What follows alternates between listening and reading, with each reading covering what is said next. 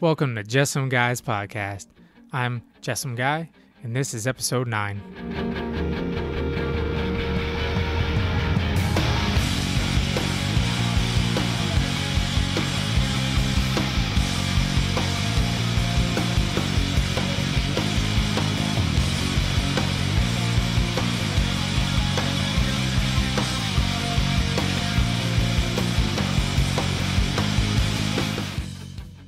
Thank you for joining me once again. And this episode, we're going to break down Jonas Salk's book, Survival of the Wisest. Um, I'm going to do a two part series. Part one is going to be the quick, quick breakdown, about 15 minutes of the centralized point. And part two will be the standard breakdown page by page, the overall uh, view. Uh, I chose this to do now because, well, we're in the middle of a global pandemic, they say and all the world leaders are suggesting that we should probably have mandatory vaccinations.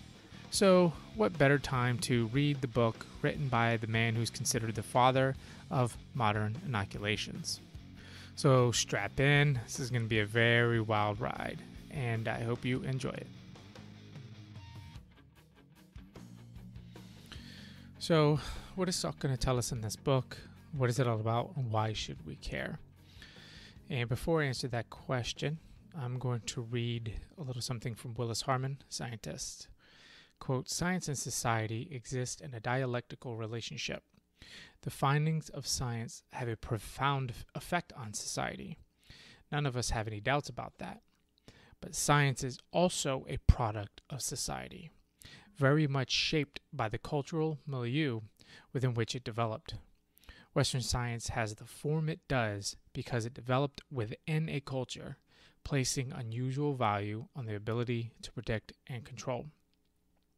Research on perception, hypnosis, repression, selective attention, mental imagery, sleep and dreams, memory, memory retrieval, etc., all suggest that the influence of the unconscious on how we experience ourselves and our environment may be far greater than is typically taken into account.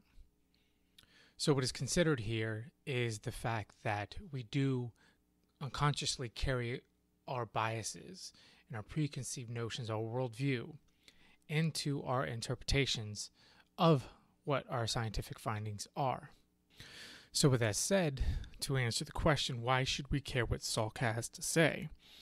Well, he is the father of modern vaccinations. He is the inventor of the polio vaccine. Uh, he created the Salk Institute, that is now one of the largest in studying molecular biology, genetics, and neurosciences. And in his day, he also campaigned for mandatory vaccinations, much like Bill Gates does today. Therefore, I think we should be very uh, interested to hear what Jonas Salk has to say about the future and what mankind should be doing and his overall worldview. And um, considering he is the one responsible for your kids getting somewhere near you know, 60 vaccines. And so we begin with evolution is the paradigm by which everything is interpreted. It is the dialectical process of all history. Man can learn wisdom from nature, and wisdom is the quality that will be selected in nature in the evolutionary process. And of course, it is up to the scientific elite like Salk here to interpret or translate to you this wisdom from nature. And so we must allow science and nature to dictate our behavior and our values. And he believes we are transitioning from an epoch A to a new epoch, and that we need a complete inversion of all our values and morals, or else mankind will not survive there was a crisis of overpopulation.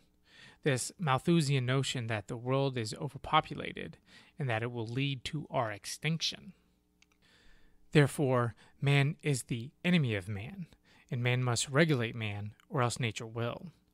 So we need forced austerity and limits to growth, a la the Club of Rome fellows. Salk compares men to cancer on the earth. So again, we need a complete change and even inversion of our beliefs and morals and values in order to slow population growth and to evolve to be selected in this new epoch. There is a battle of coexisting value systems currently, and one will win out. This is because man's values are just an evolutionary process of external factors.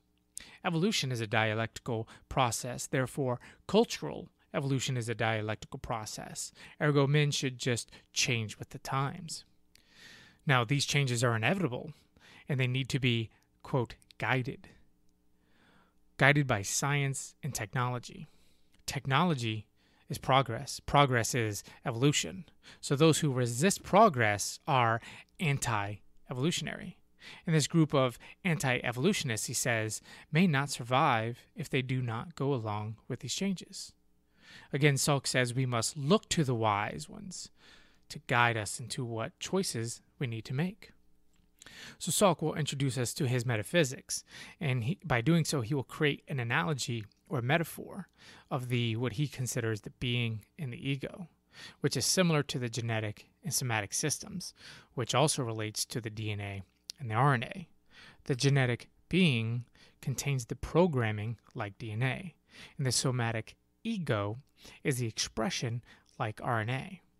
Through this metaphor, he will make the case that altering the RNA, like a cancer or a virus, can have an advantageous effect, such as the virus responsible for the tulip colors. So, yes, he's actually making a case for fucking with your DNA. He will say that since all man is, is random mutations of matter, that mutations can be introduced experimentally by a virus into an egg or sperm cell the genetic info of the virus would be incorporated in either DNA or RNA and transmitted. Then, of course, natural selection would determine if such changes should survive. Let me restate this. The guy who invented vaccinations suggests that all you are is a random mutation, and that there's no difference between that and scientists introducing a virus into your body and that genetic info passing on through your children and your children's children, and then just let natural selection, let nature decide if these mutations and changes should survive. He also says changing perceptions have a similar effect, transmitting ideas from generation to generation by cultural means. New perceptions can be spread like a virus of the mind to alter favorably or unfavorably man's behavior. Again, favorability is a value judgment, one made by nature. Revolutionary ideas are the evolutionary equivalent to mutations. He says man's consciousness is expanding through science and believes scientism can give us the answers to man's nature and his relationship to the cosmos. This, of course, is a replacement for religion. Metaphors and analogies are to be used to express these ideas, since most of us are dummies, and so we need a common language and a common metaphysics, and also a common religion, which science will serve for this purpose. This will form an organism of mankind, and no longer a collection of individuals. He sees the revolutionary changes up through the 60s as evidence of continued growth and progress and evolution. And so he calls for us to disregard all of our past institutions and values to develop new ones that are more appropriate to today's changing circumstances. Now, where I've heard this before, this is literally liberalism, the dominant cultural milieu today. Salk will actually state that one of the goals of this book is to draw attention to the role value systems or worldviews play as regulatory factors guiding man. And one of these values we must develop is depopulation. We must restrict the freedom to have kids to protect other freedoms. This he considers a pro life value or a pro evolutionary value. He says that anything that doesn't agree with his ideas that lead to further evolution are anti evolutionary, which must be rooted out and destroyed as enemies of the evolutionary process itself. He says choices will be made for factors favoring evolution versus those that don't. Those that don't will not survive. Now remember, it is his scientific elite class that will determine these factors, not you. So go along or do not survive. He says it won't be survival of the fittest, but survival of that which fits best. Thus, for mankind to evolve to survive, it requires judgment for continued existence that will have to be wise, hence, survival of the wisest. By wisest, again, he means those who comprehend evolutionary process and can make the choices, which of course is his scientific priest class.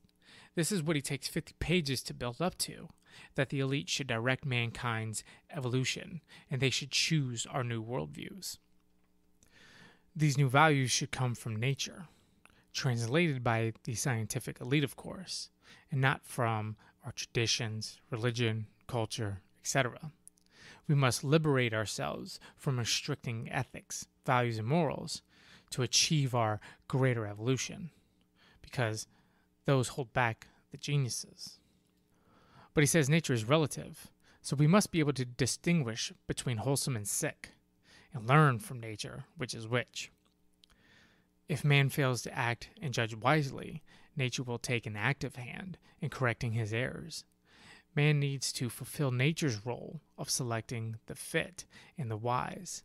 So man needs to regulate man and must act aggressively against those who do not value evolution. He says it is likely that the cost of human life of such changes will be considerable. And this brings us to the next major point Salk wants to make. That is, this implies the need for education and training. We must propagandize this worldview, teach kids to recognize those who don't agree. You can think of like Greta. Men must understand the causes, cures, and means for prevention of these that dissent. This is the correct view of the previously mentioned healthy versus sick. Choices must be made of which behavior is destructive. These value judgments are relative, as is evolution. They aren't objective or absolute. Objective universal claims are the basis for ethics, metaphysics, and values. These are anti evolutionary. Remember what happens to those anti evolutionary people. He says that absolutists are extremists, which is ironic to say the least. So we have to choose the wisest for positions of power and influence. Science will serve as the basis for what's right, and science will be the base for judgment for the masses. These wise men may be able to influence or direct human evolution. And he actually says some men have begun to make move towards this goal already. He predicts youth movements like Greta as they develop the necessary new educational systems and techniques to indoctrinate people. From birth to death, they will educate you. Metaphor and analogy will be used for the dumbed down masses to communicate this scientism. He says we will use the arts to diffuse these ideas. You can think of things like science fiction movies and books. It will be necessary to create a homogeneous society to iron out all these differences, to get everyone to speak or think in this way. We need a scientific managerial class to run the society and the world, and there will be a hierarchy based on these talents and abilities. We need to develop new systems for identifying and dealing with those that are regarded as pathological, which is those that don't agree with them. And so, again, we need this bureaucratic management of the unwise. There are interested groups, foundations, governments, NGOs, and the like that are all responsible for behavior modifications. We need to replace religion with scientism as a guiding moralistic factor.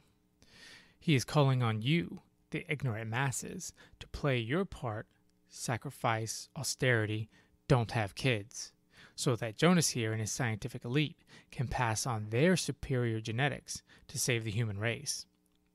In the conclusion, he states that this was a future alternatives based analysis. He touches on the idea that advances in technology modify men, as if it is part of the evolutionary process, and that this is a basis of the idea of controlling or directing man's evolution.